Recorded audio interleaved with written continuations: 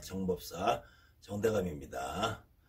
아, 오늘은 어, 조금 새로운 얘기를 해볼까 해요. 원래는 첫 강의부터 해야지 맞는 거였는데 저도 어, 강의를 급하게 시작하고 준비하다 보니까 아, 앞으로 강의를 어떻게 진행해야 될 거에 대한 아, 사실은 명확한 계획이 좀 부족한 상태에서 강의를 시작하게 되었고 유튜브를 시작하게 돼서 어, 조금 조금씩 강의에 대한 순서나 어, 진행을 지금 바로 잡아가고 있는 입장이니까 여러분들 이해를 하시고 어, 지금 구슬하시는 모든 대부분의 무당들이 구슬하면서 구세의 어떤 의미나 뜻을 제대로 이해하지 못한 상태에서 하나의 형식만 형식만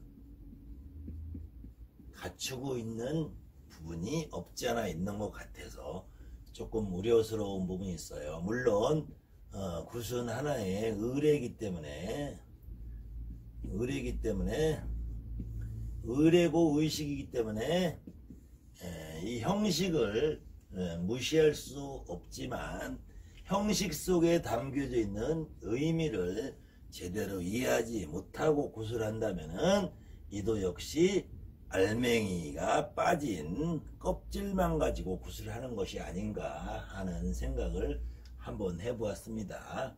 어쨌든 사실은 저도 어, 무속학원을 운영을 하면서 어, 찾아오시는 대부분의 사람들이 장구나 징, 소리, 창, 춤을 더 많이 배우기를 원해서 찾아오시지요. 어, 그 다음에는 무당들은 실질적으로 이 형식 속에 숨어있는 의미를 잘 모르더라도 어, 구슬하는데 큰 지장이 없기도 해요 사실은 어, 옛말에 제가 계속 반복하는 말이지만 만신만법이라고 해서 내가 하는 게 제일이다 하면은 어쩔 수가 없어요. 그렇지만 이 전통이라는 의미를 보면은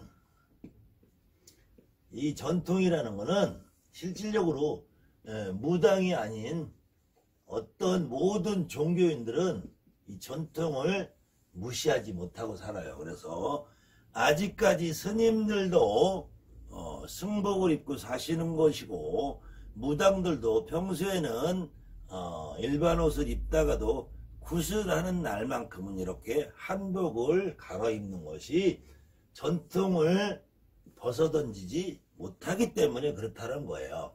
그래서 이 전통이 단지 형식으로만 남으면은 형식으로만 남아 있으면은 의미가 없고 이 안에 담긴 어떤 의미가 있느냐 요거를 우리가 이해를 해야지 구슬 배우는데 훨씬 더 유리하다는 겁니다.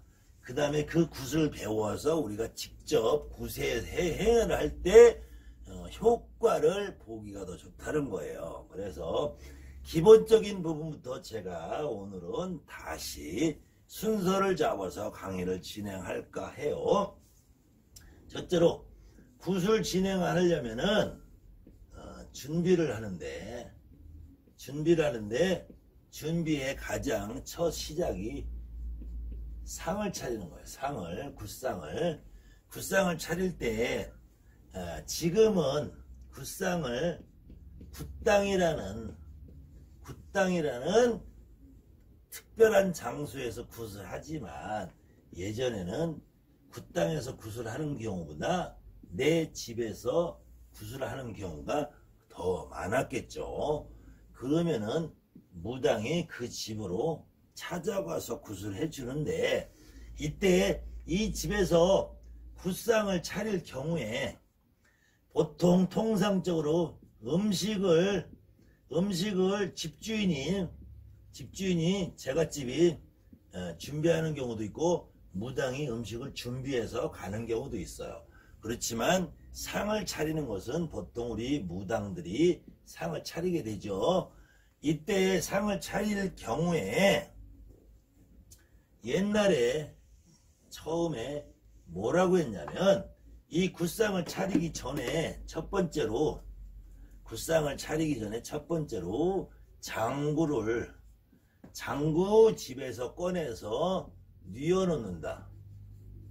장구를 세워놓지 않고 뉘어놓는다는 의미는 어, 지금부터 굿을 하기 때문에 할 것이므로 여기에 모여있는 굿을 하기 위해서 어, 모여있는 모든 살아있는 사람과 귀신은 귀신이나 조상이나 신령님은 조상님이나 신령님은 아, 그 중에서 어, 여기서 말하는 흔히 말하면 이 집안에 정식으로 초청되지 않은 모여들은 잡귀들은 잡귀들은 함부로 범접을 하지 말라라는 의미에서 장구를 장구집에서 꺼내서 뉘어놨어. 이거 1단계입니다. 두 번째로는 산신의대라고 하죠. 지금 홍철육이라고 하는 산신의대를 산신의대를 처마 밑에 걸어 놓습니다. 처마 밑에. 어, 요 의미가 가장 중요한데 산신의를 처마 밑에 걸어 놓는 이유는 이렇게 에, 우리나라가 있다고 하면 예전에는 내가 어디서 태어나든 서울에서 태어나든 전라도 충청도 경상도 강원도 어디에 태어나든 내가 태어난 곳이 바로 아버지가 태어난 곳이요. 아버지가 태어나는 곳이 할아버지가 태어나는 곳이요. 더 윗대 조상님들이 이 태어나고 자라고 산 터전이라는 얘기인데 이렇게 내가 태어나고 아버지가 태어나고 부모님이 태어나고 조상님이 태어난 여기를 이름하여 우리가 지금 현재 본향이라고 합니다. 본향. 근데 어, 지금은 아버지는 경상도에서 태어나셨는데 나는 아버지가 서울로 옮겨와서 살다 보니까 나는 어, 서울에서 태어났어요. 할아버지가 전라도 분인데 아버지는 경상도에 가서 살다가 나를 서울에서 태어나게 만드셨고 이렇게 내가 원래 태어나고 살던 고향과 아버지가 태어나서 살던 고향과 할아버지가 태어나서 살던 고향과 윗대 선대 어른들이 살던 고향이 다 다르기 때문에 예전에 이렇게 내가 태어난 곳 할아버지 아버지가 태어난 곳이 같을 때에는 이 산신의대를 문 밖에 걸어놓는 이유가 단순히 당산의 의미만 있었어요. 당산.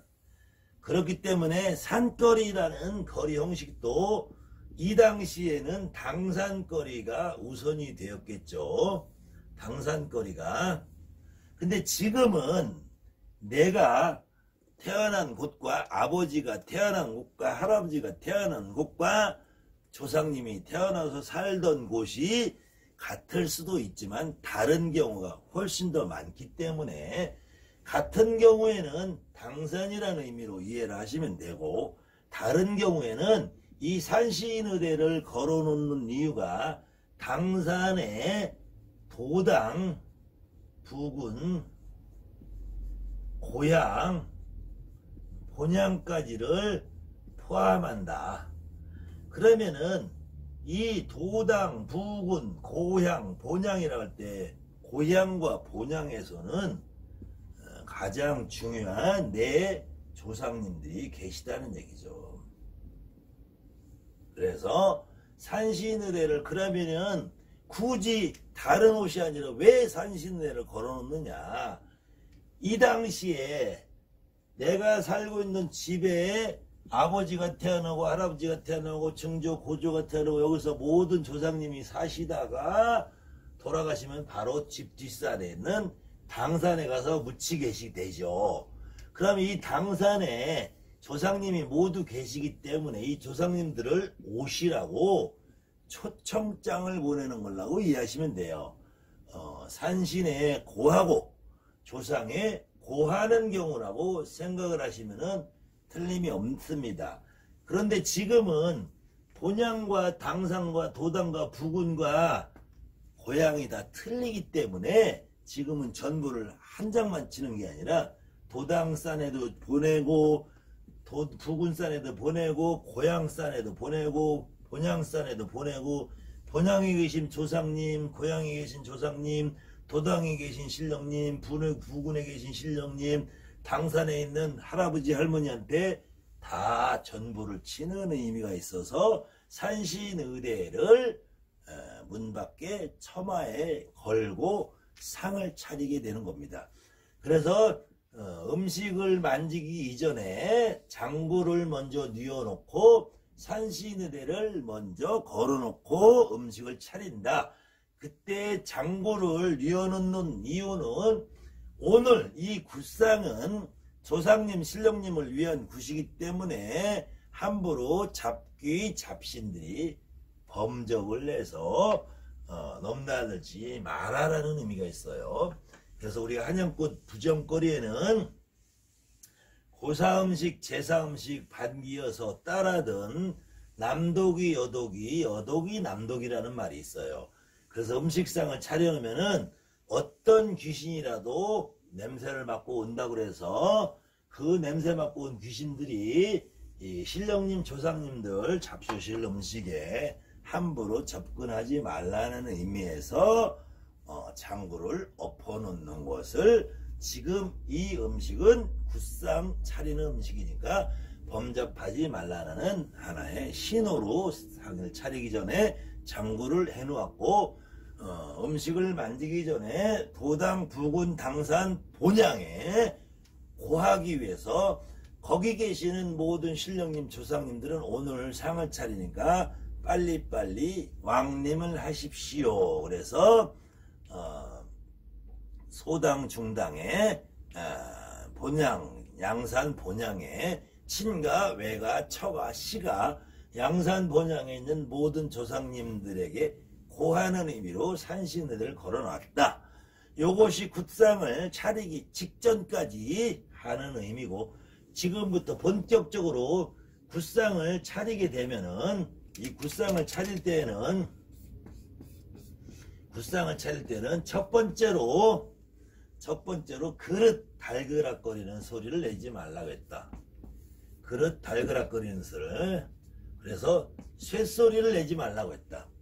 보편적으로 제기가 어, 남북제기도 있지만 쇠로 된 제기가 있고 음식상을 차릴 때 어, 지금처럼 플라스틱이라는 것이 멜라민 접시가 어, 보편하게 되기 전에는 옛날에는 모든 그릇이 질그릇 질그릇 아니면 놋그릇이었겠죠. 이것이 부딪히는 소리들이 나지 않게 했다. 그 이유로 쇠소리가 나면 쇠소리가 나면 귀신이 놀랜다 그랬어요. 그래서 상을 차린데 왕래하는 귀신들이 놀래서 잘못하면은 살아있는 사람에게 침착이 될까봐 하지 말라는 의미가 컸지만 여기보다 요거보다 더 큰 의미는 그릇 달그럭거리는 소리를 내게 되면은 조심성이 없어지죠. 경건한 마음이 사라지죠. 그래서 조심조심 경건하고 삼가한 마음으로 음식상을 준비해라는 의미가 더 컸다고 봐요. 그래도 이 부분도 절대로 무시할 수는 없겠죠. 그래서 이 귀신 달라붙지 말라고 그래서 음식상을 다 차리고 나면은 주당을 물리는 거예요. 그래서 주당 물리기 전까지 쇠소리 내지 말라라고 했던 것이 어, 아주 굉장히 의미가 있었죠. 어, 그래도 지금은 어, 쇠소리 내는 부분에 대해서 크게 예민하지 않으신 것들 같은데 우리 초창기에는 그릇 달그락거리는 소리 한 번만 나면은 그날은 눈물 쏙 빠지게 혼이 나던 시절이 있었어요. 자, 두 번째로는 두 번째로는 음식을 음식을 만지면서 잡담을 하지 못하겠어요. 잡담. 어, 잡담을 하게 되면은 마찬가지로 조심스럽고 경건한 마음이 사라지겠죠. 특히 잡담을 하면은 침이 튈 수가 있죠. 침이 튀다면 음식에 묻고 위생적으로 불결하고 신령님 조상님 잡수실 음식에 침이 튀면은 어, 아주 불경스러운 일이 되겠죠. 그래 같은 의미로 잡담하지 말라는 거에 하나가 더 보태서 음식을 상을 차리다 말고는 화장실을 갔다 오지 못하겠어요. 요즘은 요거는 많이 모르고 계시는 것 같은데 화장실을 가려면은 굿땅에 와서 그 집에 상을 차리기 직전에 먼저 갔다 와서 화장실을 차리겠어요. 이유는 지금은 화장실이 세면기 수세식 시설이 잘 돼서 깨끗하고 얼마든지 손을 닦고 올 수 있는 환경이 돼 있지만 그 옛날에 지금부터 100년 전, 200년 전 요 시기에는 화장실이 많이 불결했죠. 그래서 이 불결한 화장실에 가서 제대로 뒤처리를 하지 못하고 왔을 경우에 음식을 그 손으로 만지면 안 되기 때문에 그래서 잡담을 하지 말라라고 했으며 특히 화장실 다녀오는 거를 아주 금기시했다. 예, 그래서 요 잡담하지 말라 어, 그릇 딸그릇거리는 소리 내지 말라 요거는 다시 여러분들 제가 강의에 올리는 안진거리 설명해 보면은 초경이라고 그러죠. 정심경 점김경의 내용에 보면은 설경설법 성경자 절수 제기하고 엄정의관하고 정심정기로 고치연음 연후에 하면서 낭송 신물 경만 교담 접어라고 돼 있어요. 이때 낭송이라는 말은 밝고 밝고 맑은 목소리로 읽어라. 이 말이고 신물이라는 거는 어, 삼가할 신자 삼가하고 경계하고 금지한다는 말이에요. 그 다음에 경만이라는 거는 가볍고 가볍고 태만하고 태만하고 교다는 거는 이 서로 어, 부딪히고 마주쳐서 어, 어깨를 맞대고 이마를 맞대고 잡담을 하는 걸 말해요. 접어라는 거는 마찬가지로 둘러앉아 모여 앉아서 어, 잔소리하는 거를 접어라고 그래요. 교담이라는 거는 마주 앉아서 얘기하는 거, 접어라는 거는 나란히 둘러앉아서 말하는 거. 그래서 잡담하고 침을 튀기면서 이야기하지 말라는 것이 어, 안진거리 경문의 초경에 나오는 말입니다. 그렇듯이 이렇게 음식상을 차릴 때에는 경건하고 정갈하고 엄숙한 마음으로 해라라는 의미에서 적담을 하지 말라 해서 거기에는 어, 음식에 침 튀기지 말게 하는 의미도 있으며 달가락거리는 쇳소리를 내서 귀신이 잘못해서 달라붙을 주당 맞는 것도 예방하는 의미가 있었다는 겁니다.